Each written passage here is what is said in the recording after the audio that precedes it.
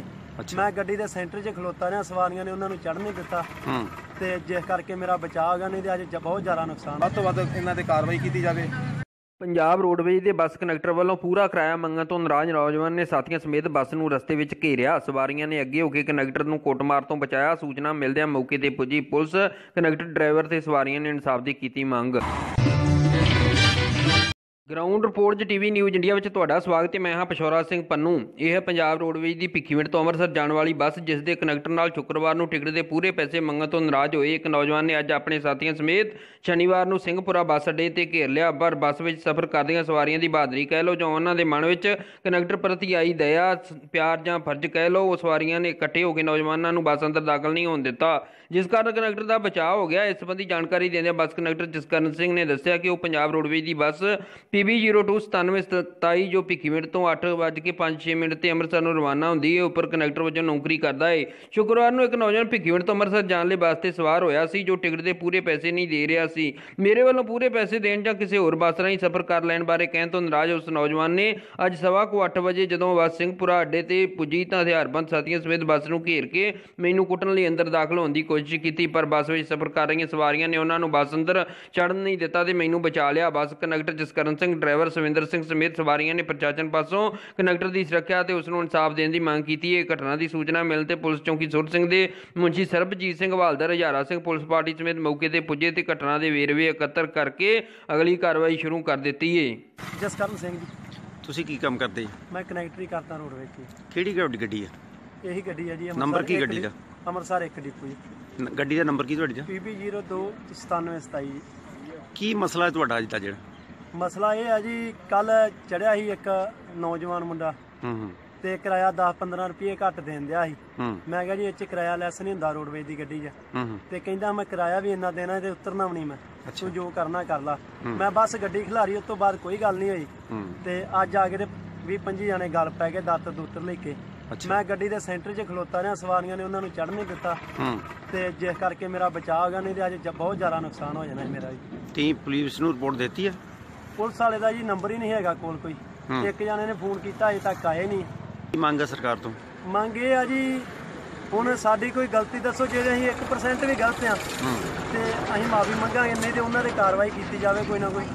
ਤੁਹਾਨੂੰ ਕੋਈ ਜਾਣਕਾਰੀ ਹੈ ਕੋਈ ਜਿਹੜੇ ਬੰਦੇ ਕਾਰਵਾਈ ਚ ਕਰਨ ਆਏ ਆ? ਉਹ ਮੈਨੂੰ ਪਛਾਣ ਚ ਆ ਜੀ ਜਦੋਂ ਇੱਥੇ ਮਿਲ ਪਿਆ ਮੈਂ ਪਛਾਣ ਲੂੰਗਾ ਜੀ। ਠੀਕ ਹੈ ਜੀ। ਤੁਸੀਂ ਭਾਜੀ ਡਰਾਈਵਰ? ਤੁਹਾਡਾ ਸ਼ੁਭ ਨਾਮ ਕੀ ਹੈ? ਸੁਵਿੰਦਰ ਸਿੰਘ। ਕੀ ਜਿਹੜੀ ਘਟਨਾ ਵਾਪਰੀ ਹੈ ਤੁਸੀਂ ਕੀ ਕਹਿਣਾ ਚਾਹੁੰਦੇ ਇਸ ਸੰਬੰਧੀ? ਇਹ ਘਟਨਾ ਵੇਖੋ ਜੀ ਇਹ ਸਰਕਾਰ ਨੇ ਕਿਰਾਇਆ ਵਧਾਇਆ ਕੋਈ ਅਸੀਂ ਕਿਰਾਇਆ ਤੇ ਆਪ ਦੇ ਕੋਲੋਂ ਤਾਂ ਲੈਂਦੇ ਨਹੀਂ। ਹੂੰ। ਜੇ ਅਸੀਂ ਲੈ ਤਾਂ ਲੈਂਦੇ ਹਾਂ, ਸਾਨੂੰ ਫਿਰ ਸਾਡੀ ਨਹੀਂ ਸਾਈਡ ਨਹੀਂ ਕਰਦੇ ਅਸੀਂ ਬਿਲਕੁਲ ਪੂਰਾ ਪੂਰਾ ਕਰਾ ਲੈਂਦੇ ਆ ਪੂਰੀ ਪੂਰੀ ਟਿਕਟ ਦਿੰਦੇ ਆ ਠੀਕ ਹੈ। ਉਹਦੇ ਵਿੱਚ ਅਸੀਂ ਡੇਲੀ ਚੱਲਣਾ ਵਾ ਕੱਲਿਆਂ ਦੇ ਡਰਾਈਵਰ ਕਨੈਕਟਰ ਨੇ। ਤੇ ਇਹਦੇ ਵਿੱਚ ਸਾਡਾ ਕੋਈ ਜਾਨੀ ਨੁਕਸਾਨ ਹੋ ਸਕਦਾ ਵਾ। ਇਹ ਤੋਂ ਮੈਂ ਤਾਂ ਪ੍ਰਸ਼ਾਸਨ ਨੂੰ ਕਹਿਣਾ ਚਾਹੁੰਦਾ ਹਾਂ ਵੀ ਇਹ ਤੋਂ ਵੱਧ ਤੋਂ ਵੱਧ ਇਹਨਾਂ ਤੇ ਕਾਰਵਾਈ ਕੀਤੀ ਜਾਵੇ।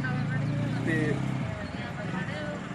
ਸਵਾਰੀਆਂ ਜਿਹੜੀਆਂ ਸਹੂਲਤ ਕਰੀ ਤੁਸੀਂ ਭਾਜੀ ਕਿੱਥੋਂ ਦੇ ਰਹਿਣ ਵਾਲੇ ਆ ਇਹ ਭਾਈ ਮਾੜੀ ਉੱਥੋਂ ਦੇ ਰਹਿਣ ਵਾਲੇ ਆ। ਮੈਂ ਬੱਸ ਸਫ਼ਰ ਕਰ ਰਿਹਾ ਸੀ। ਹਾਂ। ਮੈਂ ਜਦੋਂ ਸਿੰਘਪੁਰੇ ਅੱਡੇ ਤੇ ਆਏ ਤੇ ਡਰਾਈਵਰ ਨੂੰ ਕਹਿ ਕੇ ਗੱਡੀ ਰੁਕਵਾਈ ਗਈ ਆ। ਹਾਂ ਹਾਂ। ਗੱਡੀ ਰੁਕਵਾ ਕੇ ਕਮ ਸੇ ਕਮ 20 ਬੰਦੇ ਹਥਿਆਰਾਂ ਨਾਲ ਲੈ ਤੇ ਜਿਨ੍ਹਾਂ ਕੋਲ ਬੈਸਬਾਲ ਕਿਰਪਾਨਾਂ ਦਾਤਰ ਸੀ ਤੇ ਆਣ ਕੇ ਕਨੈਕਟਰ ਨੂੰ ਥੱਲੇ ਲਾਉਣ ਲਈ ਬਹੁਤ ਜ਼ੋਰ ਲਾਇਆ ਉਹਨਾਂ ਨੇ। ਬਾਕੀ ਸਾਰੀਆਂ ਸਵਾਰੀਆਂ ਨੇ ਕਨੈਕਟਰ ਨੂੰ ਬੜੀ ਮੁਸ਼ਕਲ ਨਾਲ ਬਚਾਇਆ ਆ। ਤੇ ਬਾਕੀ ਉਹ ਇਹ ਵੀ ਗੱਲ ਕਹਿੰਦੇ ਆ ਵੀ ਜਾ ਥਾਣੇ ਰਿਪੋਰਟ ਦੇ ਦਿਓ ਥਾਣਾ ਸਾਡਾ ਆ।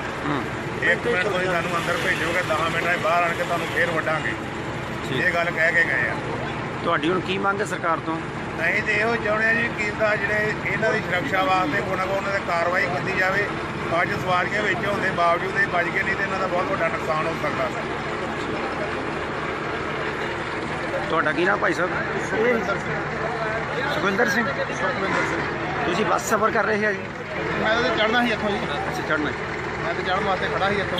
ਅੱਛਾ। ਪਹਿਲਾਂ ਹੀ ਆਪਣੀ ਇੱਥੇ ਲੈ ਕੇ ਮੁੰਡੇ ਖੜੇ ਸੀ। ਇਹ ਜਿਹੜੀ ਘਟਨਾ ਤੁਸੀਂ ਆਪਣੇ ਅੱਖੀ ਵੇਖੀ ਆ? ਹਾਂਜੀ। ਇਹ ਘਟਨਾ ਜਿਹੜੀ ਆਪਣੇ ਅੱਖੀ ਵੇਖੀ ਆ? ਇੱਥੇ ਹੋ ਰਿਹਾ ਸੀ ਜੀ ਉਦੋਂ। ਅੱਛਾ ਕੀ ਹੋ ਰਿਹਾ ਸੀ? ਖਿੱਚ ਰਹੇ ਸੀ। ਅੱਛਾ। ਪਰ ਸਵਾਰੀਆਂ ਨੇ ਚੜ੍ਹਨ ਨਹੀਂ ਦਿੱਤਾ ਉਹਨਾਂ ਨੂੰ। ਅੱਛਾ। ਤੁਸੀਂ ਕੀ ਸਰਕਾਰ ਤੋਂ ਮੰਗ ਕਰਦੇ? ਮੰਗ ਇਹੀ ਹੈ ਜੀ ਕਨੈਕਟਰ ਡਰਾਈਵਰ ਨੇ ਤਾਂ ਡੇਲੀ ਚੱਲਣਾ ਜੀ। ਅੱਛਾ। ਜਿਹਦਾ ਕੋਈ ਕਿਰਾਇਆ ਵਧਿਆ ਵਾ ਕਿਰਾਇਆ ਸਰਕਾਰ ਨੇ ਵਧਾਇਆ ਕਨੈਕਟਰ ਡਰਾਈਵਰ ਨੇ ਤੇ ਵਧਾਇਆ ਠੀਕ ਹੈ ਬਾਕੀ ਰੋਡਵੇਜ ਦੀ ਬੱਸ ਆ ਇਹ। ਕਿਰਾਇਆ ਘੱਟ ਲੈ ਨਹੀਂ ਸਕਦੇ। ਠੀਕ ਹੈ ਸਾਡੀ ਤੇ ਉਹ ਮੰਗ ਆ ਇਹਨਾਂ ਨੂੰ ਬਣਦਾ ਇਨਸਾਫ ਜਿਹੜਾ ਵਾ ਮਿਲਦਾ ਚਾਹੀਦਾ। ਆ ਭਾਈ ਨਾਲ। ਆਉਣੇ ਹੋਣੇ ਸਰ ਜੀ ਕੀ ਨਾਂ ਤੁਹਾਡਾ?